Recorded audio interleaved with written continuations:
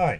A couple of videos ago we had a look at these aluminium PCBs which we had made at our sponsor for this video, PCBWay. So these are some LED strips which are going to be installed in some aluminium profiles uh, that are then going to be installed in this house. And during that video we discussed various methods of driving these LEDs. Now what I want is the ability to control the brightness of these LEDs but also limit the maximum current at 150 milliamps. So we went with, uh, on the PCB, just some low resistance resistors. So we've got 1 ohms each, 3 ohms in total. And in that video, we had a look at some of the calculations, and with that 3 ohms of voltage drop, we basically drive the LED strips at 19.8 volts, and that allows us to drive them at 150 milliamps. But what I failed to take into account is that these LED strips do have quite a bit of voltage drop, and considering each of these boards is drawing 150 milliamps. It only took about five of these PCBs before the voltage dropped so much that the difference in brightness was quite noticeable. So one way that we could get around that is by um, supplying it with the supply voltage every three or four PCBs. We can still connect them all up in parallel, but then have additional uh, feeds at separate points. Um, but I don't really like that, and it doesn't really work in the installation. So one subscriber in the video, Henrik, mentioned why don't we use some two pin constant current drivers and I'd completely forgotten that these existed and that's what we're going to have a quick look at today. I'm sure many of you have seen these before but they will be new to some of you. So we've got these little devices here and let's have a look at the datasheet for them. So this is the device that we're going to be testing today. It's the AL5809 and this is a really straightforward device to use. It's available in a whole series of fixed constant currents from 15 milliamps all the way up to 150 milliamps. A lot of these were unavailable based on the uh, current issues with actually trying to source components, but I did manage to get a 150 milliamp version and some 60 milliamp versions. I think ideally I would have settled on 120 milliamps because 150 on these LEDs is far too bright, uh, but we can drive it at 150 and just reduce the maximum brightness in PWM. So these are really straightforward devices to wire up. You just simply put them in the series string of LEDs and it will limit the current provided there is enough voltage drop between pin 1 and pin 2. So the internal diagram looks like this. So we've got an LDO which basically is our reference. Uh, we've got a current mirror and a current setting resistor and this resistor was built into the device and you pick a particular part number which basically just changes the resistor here to change the constant current.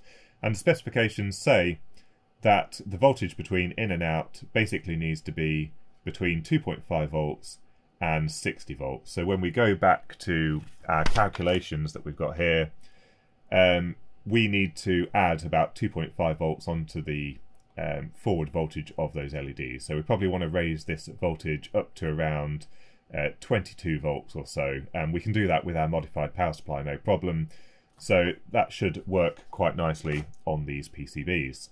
Now these devices are linear devices, so as soon as we're limiting any current, we are dissipating power in these two pin packages. So despite the fact that the datasheet says that the voltage between the two pins need to be between 2.5 and 60 volts, if we were driving them at 150 milliamps, and we tried to maintain 60 volts between the two pins, we'd actually be dissipating 9 watts in that device, which would probably incinerate it straight away. So they do have these graphs in the datasheet as a first port just to see what kind of input voltage you might want to suggest. Um, and with our green line here, which is 150 milliamps, it's saying really that our input to output voltage needs to be less than 8 volts. I'm aiming for somewhere around here, about 2 or 3, maybe 4 volts, just to cope with the voltage drop. But we will check the temperature of these once it's in operation. Now fortunately I picked 1206 resistors and these are precisely the correct footprint for these constant current diodes. So simply we can desolder these resistors, we only need to desolder one of them, put that one in its place and then we can start testing the PCB. But before we do that, a quick word from our sponsor, PCBWay.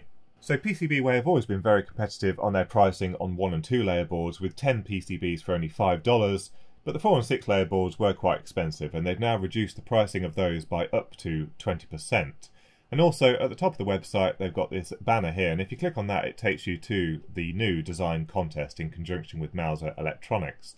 and it's well worth taking a look at this contest because the prizes are quite significant. So you submit your design based on one of the three categories here, and at the end of the competition period, they will be judged by the panel of judges, and the prizes are well worth taking a look at. So as you can see, first prize is $1,500 cash, plus a $200 coupon, plus a Raspberry Pi 4.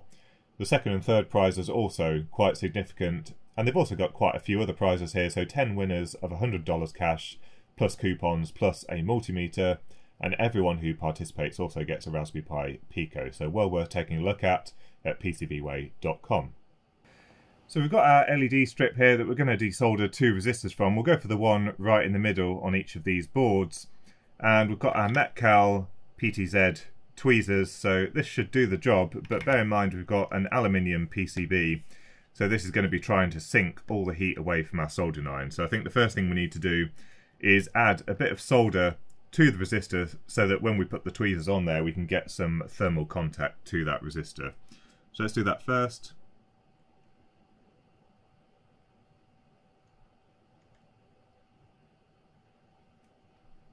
Right, so that's a bit of solder on there.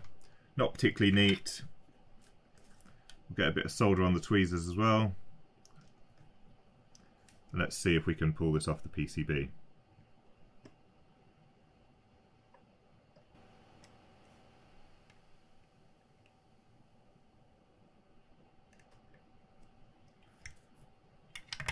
Go, that's one of them.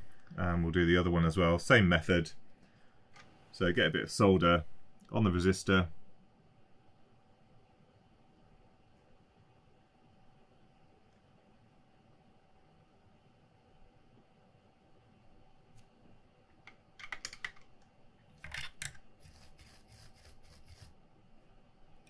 Bit of solder also on the tweezers.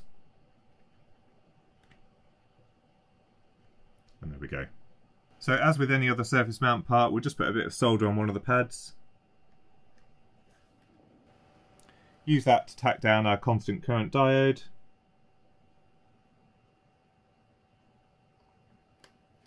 And then a bit of solder on the other leg.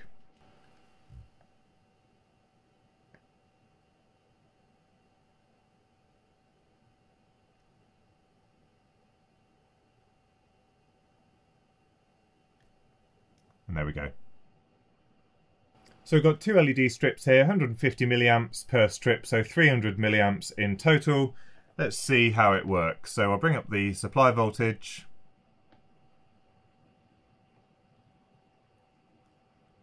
And the LEDs are starting to conduct at about 16 volts.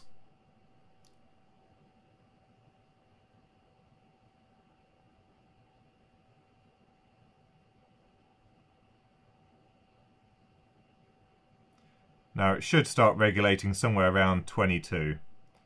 And there we go. So 22.5 volts or so, we're properly regulated at 300 milliamps. And we can momentarily bring that up to 24 volts and we're still regulated there properly. So that seems to be working quite nicely. So it's been around 10 minutes now just to allow everything to get up to temperature you can see our current is very nicely regulated at 300 milliamps. So these devices do seem pretty precise. Let's have a look at the voltage drop across the diode. So on the multimeter in the middle there, you can see we're just above the minimum for it to be regulating properly, about 2.7 volts.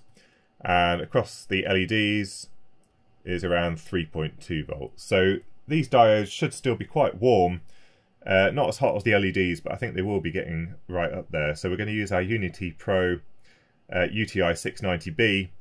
And if we have a look at the screen here, which hopefully you can see, uh, we've got the three LEDs across here. And if we point the crosshair at one of them here, that LED is running at about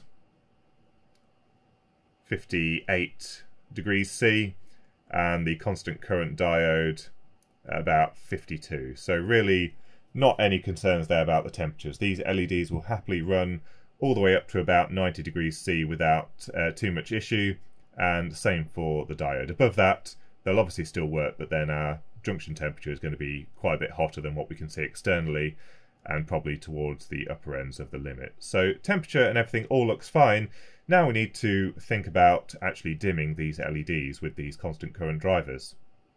So the datasheet has a bit of information on how to achieve PWM dimming with the AL5809 and it recommends a PWM frequency of between 100 and 200 Hz, which is quite low. I would prefer to have the PWM frequency around a kilohertz just so there's no chance of any kind of flicker. So we're going to test some of these things today, but basically all you need to do is chop the incoming waveform, and it will change the brightness of the LEDs. Now there's nothing that we can actually damage in the AL5809, there's no capacitors or anything, it's all passive. So when the power gets shut off, the LEDs will just turn off, and when it turns on, uh, there's probably a slight delay before it's regulating, uh, but we shouldn't really have any issues with any kind of damage, so we should be quite safe doing testing. But if you look at their recommended frequency and dimming range, at 100 Hz they recommend only from 5 to 95%, and at 200 Hz from 10 to 90%, which is quite high on the low side. I would like to be able to dim it quite smoothly right down to 0%, and they're recommending here an on time of at least 0.5 milliseconds, which is the reason how they've got to those figures. But when you look at the waveforms, what it's effectively saying is that it's going to take about 50 microseconds for the current to ramp up, which I'm saying is our minimum on time. Uh, I don't really see why they've said the minimum on pulse width should be all the way over here because by this point it's already regulated, so uh, we should be perfectly fine dimming below those numbers. Right, so we've got the LED strip hooked up to one of my control boards, and I've also got the waveform generator connected to it, so we can control both the frequency and the duty cycle. We're at 10% duty at the moment, and that's giving us about 10% of the original 300 milliamps. So at 100 hertz, we're definitely able to do 10% duty cycle. If we change that duty cycle down to the minimum recommended uh, 5%, you can see we're about 13 milliamps. So um, we're definitely still got the LEDs illuminated, but the dimming is starting to go non-linear. And if we decrease it down to 1%, which is here, technically we should be reading 3 milliamps and we're down at 0.6 but the LEDs are still illuminated. So basically, what that says is that although um, we've got non-linear dimming, we have got full control of the brightness of the LED right until the point where they turn off. So it's not like they suddenly shut off at a certain duty cycle. It's just that the dimming starts to go non-linear. And if I leave it at 2%, for example, and change the frequency, we see that effect even more. So we're at 100 hertz, 200 hertz, 300, 400, 500 hertz. So the LEDs are still on and we can decrease the duty cycle further and the LEDs pretty much turn off at about well less than 0.1% so we're fine in terms of control of the LED it's just non-linear and if we increase the duty cycle here at 500 hertz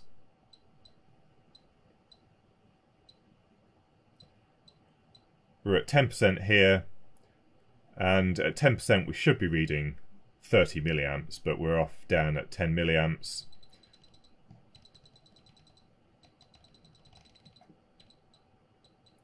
Fifty percent duty, we're at 141, whereas we'd normally be at 150. So just again, slightly lower than where we should be, but it still works absolutely fine.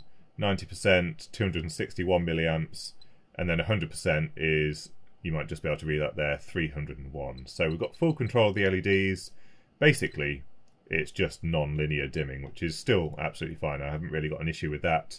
Um, in terms of current it's non-linear but in terms of how the eye perceives it that's quite a different story. So uh, again we can calibrate for some of this in the firmware that would be on the LED control board. But as I can see it it seems to work absolutely fine. And I think 500 Hz is a perfectly acceptable frequency for the PWM dimming of some LEDs for ambient illumination. Obviously, if it was in a workroom where you're using machinery or something like that, you would want to increase that so you don't get any stroboscopic effects. But for home lighting, 500 Hz is perfectly high enough. So that all seems to be working quite nicely, and all that remains is for me to now um, desolder a bunch of resistors on these aluminium boards and replace them with these constant current drivers. And I hope some of you found this video useful because probably not all of you have come across these two pin constant current drivers before, and it's a really neat solution because you just replace the uh, current limiting resistor with one of these drivers and it limits the current to those LEDs very nicely as you saw. So don't forget to leave your thoughts and comments in the comments section down below. A Big thank yous to my Patreons who are always supporting the channel. And don't forget to enter the PCBWay PCB competition with a chance to win those big prizes.